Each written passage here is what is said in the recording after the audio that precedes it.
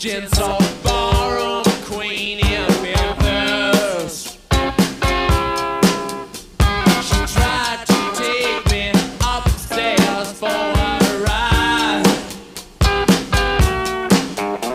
She had to.